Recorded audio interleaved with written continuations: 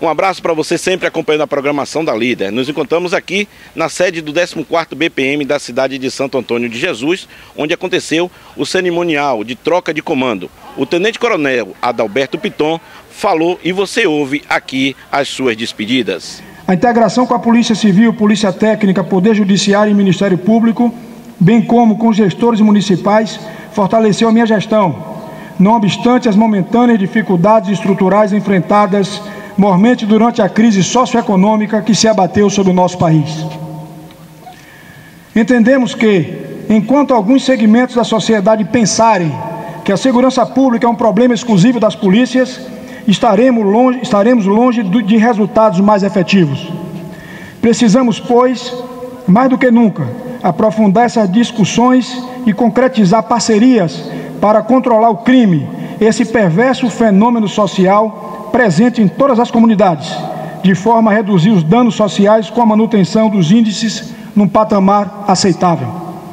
Nesta oportunidade, como disse, não vamos relatar índices numéricos, muito menos a produtividade operacional ou mesmo detalhar realizações materiais, pois entendemos que o principal foi conduzir a tropa ao objetivo de se dedicar à segurança dos cidadãos com respeito aos direitos humanos e competência técnico-profissional.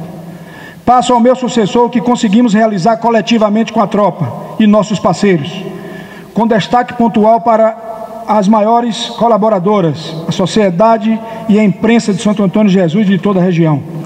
Isso é como uma estrada, em que cada um comandante pavimenta uma fração do caminho. Acredito que com a ajuda de todos fiz o que estava ao meu alcance e por isso sigo para uma outra missão, feliz e realizado, embora com saudade no peito. Neste boletim especial, hoje optei por me demorar em reconhecimentos e desta forma agradeço e louvo ao Deus de Abraão, Isaac e Jacó, o Senhor dos exércitos, que habitou entre nós na pessoa de Jesus Cristo, pelas bênçãos que nos permitiram chegar até aqui. Resisto minha gratidão ao excelentíssimo senhor Coronel PM Anselmo Alves Brandão, comandante-geral, pela confiança a mim dispensada e pela oportunidade de evoluir na carreira.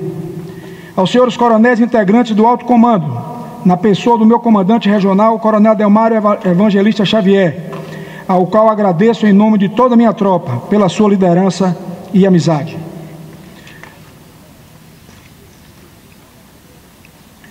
Ao senhor Tenente Coronel Reserva Remunerada Raimundo Santos Prachedes, aqui representando todos os meus ex-comandantes, pelos ensinamentos de comando de tropa e gestão policial.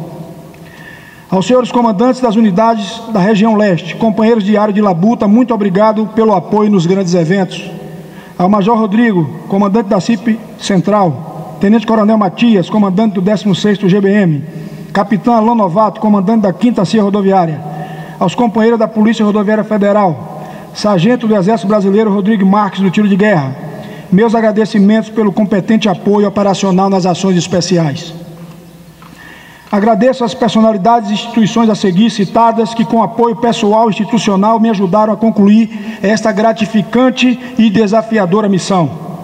Excelentíssimo senhores Rogério Andrade, Wellington Vieira, Unaldo Simões, Egnaldo Piton e João Fernando, Fernando Alves. Respectivamente, os prefeitos de Santo Antônio, Muniz Ferreira, Jaguaripe, Dom Macedo e Jiquiriçá em nome dos quais agradeço aos prefeitos da nossa área de atuação, aos vereadores das câmaras municipais dos nossos 11 municípios, nas pessoas dos vereadores Antônio Barreto, Berdan Cardoso e Chico de Dega, ao doutor Edilson Magalhães, coordenador da quarta Corpim, doutor Felipe Wittig, delegado titular dessa cidade, doutor Ricardo Neri, coordenador do DPT, meu muito obrigado. Poder Judiciário nas pessoas do magistrado, doutor José Francisco Oliveira, doutor Márcio Oliveira, o Ministério Público, nas pessoas do doutor Julimar Barreto, doutor João Manuel, doutora Thelma Oliveira. Muito obrigado pela confiança no nosso trabalho. Agradeço ao coordenador da 11ª Seletran, Rui Tourinho, pela grande parceria. Aos meus queridos irmãos do Núcleo Cristão, nas pessoas do Tenente Augusto e o irmão Leodino, aos, aos quais agradeço pelas constantes orações. Ao pastor Eli Lourenço e ao padre Nelson Franca, conselheiros espirituais deste batalhão, a minha eterna gratidão. Aos amigos do Conselho Comunitário, na pessoa do presidente Marcos Lessa, bem como aos irmãos da Adonep, na pessoa de Gilberto Nunes, obrigado pela camaradagem e pelo apoio. Registro meu agradecimento à sociedade do Vale do Jicriçá na pessoa do dileto amigo Lourilson Alves dos Santos e do meu querido primo Evaristo Neto. A acessagem nas pessoas de Genivaldo Eulino e Erivaldo Neri, pelo apoio logístico e grande amizade. Externo a gratidão especial ao doutor Djalma Luciano Andrade, advogado, militante Santo Antônio Jesus, empresário. Doutor Everaldo Júnior, do Grupo CTO. Senhor José Roberto Soares, Melentino Tedesco, Walter Coelho, Walter Espíndola, do Hotel Ilhabela, amigo de todas as horas.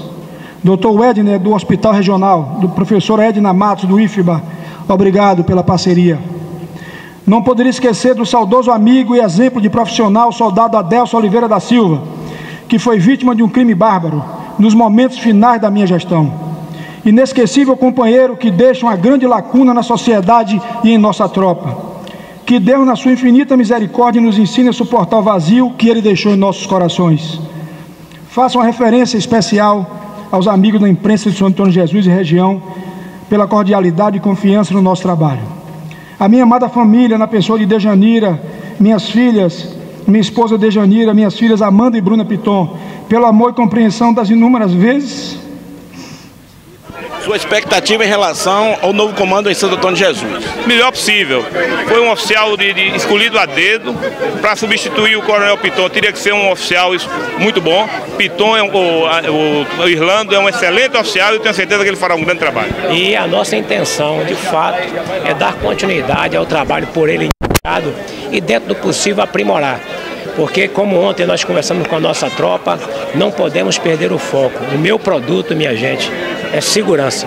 E iremos naturalmente nos engajar nesse propósito. As companhias deverá sofrer alguma alteração no comando, exemplo da quarta companhia de Mutuípe? Ainda é muito prematuro para eu tecer comentários desta natureza. Né? Aí a gente vai naturalmente entrar no campo técnico e tático operacional e a, nós só estivemos em Santo Antônio ontem. Naturalmente eu vou sentar com o meu staff, com a minha equipe e naturalmente iremos, iremos buscar uma solução para, para tais problemas. Não só esse, mas inúmeros problemas que nós temos aqui.